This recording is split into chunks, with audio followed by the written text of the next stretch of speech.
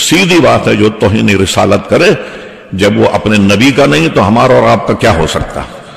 इसलिए हम लोग तो इस पर इत्तेफाक करते हैं। अल्हम्दुलिल्लाह, जो बात हज़रत ने फरमाई है, ये हमारे इमाम है इस मामले में। हम इनकी पैरवी करेंगे इंशाला तबारक वक्त तो मैंने मसले की वजाहत कर दी। एक मिनट जरा सा, एक मिनट एक मिनट जरा सा ज़रिए तुमको हो जाए। ये मैं वहाँ की बता रहा था कि प्रेस वाला ने मुझसे ये सवाल किया कि अच्छा ये बताइए कि ये मुमताज़ कादरी को ये था फ्रांस का एक सहाफी। उसने कहा अच्छा था आप इसको आप शहीद कहेंगे। मुमताज़ कादरी को अगर इसको फांसी लगी। मैंने कहा बिल्कुल शहीद कहेंगे। कहने कैसे? तो मैंने कहा सुनिए जुल्फकार अली भुट्टो को हाई को, सुप्रीम कोर्ट की फुल बैंक ने फांसी दी। उसको शहीद करें लोग या नहीं? ये इसलिए शहीद नहीं हुआ कि गरीब आदमी है। ये भी लैंडलॉर्ड होता, मालदार होता भुट्टो की तरह।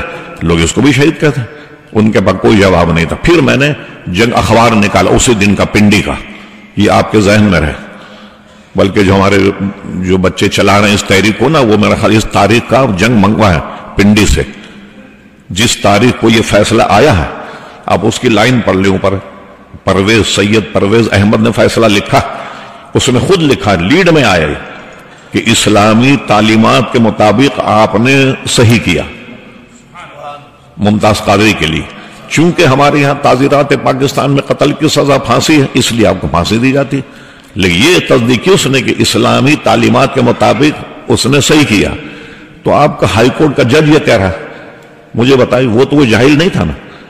वकला थे, जब पेशी हुई तो मेरे दो तीन सौ वकला खड़े हो गए। भाई, वो तो पढ़े लिखे थे ना, वो तो जाहिल नहीं थे ना? तो उन्होंने भी तो यही कहा, जो हम कह रहे हैं।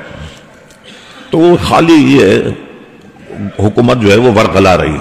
लेकिन अफसोस ही होता है कि उलमा को इस पर मुतहद हो जाना चाहिए कि उसने तोहन रिसालत की है सलमान तासीर ने वरना इधर उधर हो रहे हैं आप तो इससे क्या होगा? हमारी तहरीर को नुकसान पहुंचेगा।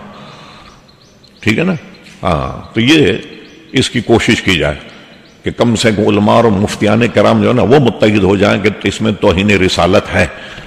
अब सुप्रीम कोर्ट ने फैसला भी यही दिया, उससे यही पता पता लगता है कि उसने तोहनी रिसालत नहीं की। बिल्कुल उसका सारा मैटर निकालिए आप, इंटरनेट पे मौजूद, सब निकालिए आप। उसका बेटा है बरतानिया में, उसकी किताब भी पढ़ लें आप। खुद उसका बयान है कि कुरान मजीद मैंने नहीं पढ़ा एक दफे जेल हुई। इंटरनेट पे सब मौजूद है पूरा। कोई साहब बैठ जाए ना आप इंटरनेट चैनल वाले, सब निकाल लें। तो कहने लगे, वहाँ जेल में जब मैं था तो मैंने देखा कोई किताब मुझे नहीं मिली पढ़ने के लिए।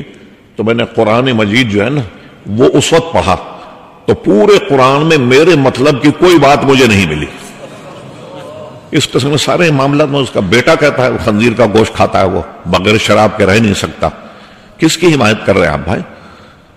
तो ये ऐसी चीज़ें हैं कि इस पर मुतहिद होकर के वो करना।